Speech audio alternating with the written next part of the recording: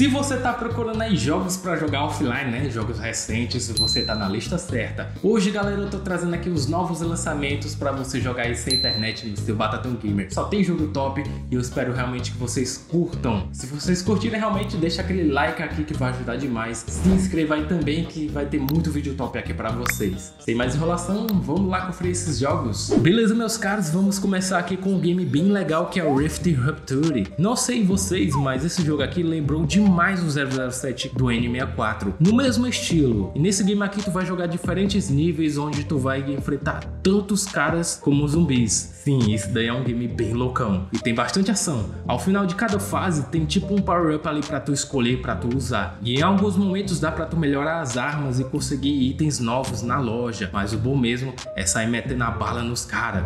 Confesso que eu me diverti muito mesmo jogando esse jogo e vocês também vão. Com certeza esse próximo jogo aqui vai lembrar algum jogo aí vocês. Eu falar aqui do Crazy Samurai. Esse é um game bem violento, onde os caras basicamente vão ter que se acabar ali no ringue e tu vai ter que sobreviver ver até o final. O jogo tem diferentes locais ali para tu jogar, conforme tu vai avançando tem diferentes inimigos ali para tu enfrentar. E tu pode equipar e melhorar o teu personagem ao máximo. Muito bom esse game, sério. E vamos para um jogo plataforma 2D muito lindo e com uma história que vai te prender com certeza. Fala aqui do Lost Words. Esse é um game muito interessante, pois tu vai controlar uma personagem que tem um diário e conforme tu vai avançando no jogo, vai revelando coisas nesse diário, que inclusive vai te ajudar a resolver quebra-cabeças. No mundo do jogo é muitos momentos tu vai ter que usar essas palavras para te ajudar a resolver puzzles, né, quebra-cabeças. E em diversos momentos o jogo vai mudar completamente. Então é uma verdadeira aventura de se jogar. Nunca me canso de trazer esse jogo aqui das tartarugas aqui pro canal, porque é um jogo muito bom mesmo, que é o TMNT Splinter's Fate. É um dos melhores jogos das Tartaruga Ninjas, brincando mesmo. O jogo tem uma pegada assim hack and slash bem viciante. E diferente de muitos jogos, esse aqui é passando de fase,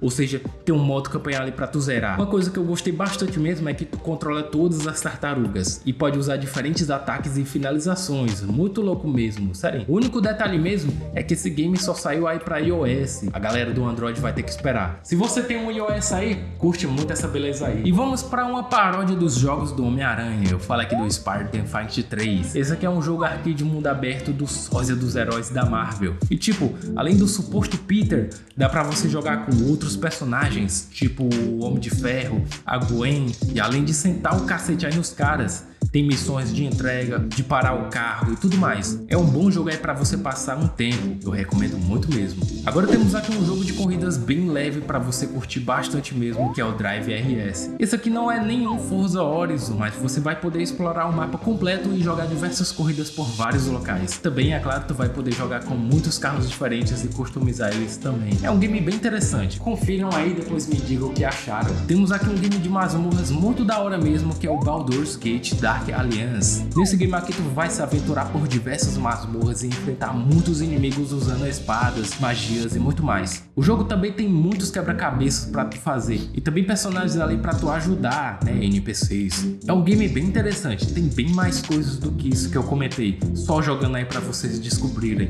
E eu já trouxe bastante esse game aqui no canal porque ele é muito bom, que é o Dead Wasteland. E eu digo que ele é um game de sobrevivência zumbi bem completo. Nele tu pode explorar diversas áreas no mapa mapa. Conforme teu personagem anda ali pelo mapa, dá para você entrar em diferentes áreas. Algumas áreas têm zumbis fracos, outros mais fortes. Em outras tem sobreviventes pouco perigosos, até uns que são bem armados. E também depende também da dificuldade que tu escolher. Fora isso, dá para você coletar coisas, cozinhar e tudo mais aí de um game de sobrevivência. E esse daí é muito bacana, na moral. Comentem aí se quiserem mais vídeos assim de jogos offline. Então é isso aí, meus caros, o que acharam aqui do vídeo de hoje? Já vai nos comentários e comenta que eu quero quero saber. Deixa aquele like aqui que vai ajudar demais aqui. E eu vou estar deixando também dois vídeos aí na tela para vocês estarem conferindo, né? Porque só tem vídeo top. Então, é isso aí, meus parceiros. Tamo junto. Até a próxima. Valeu!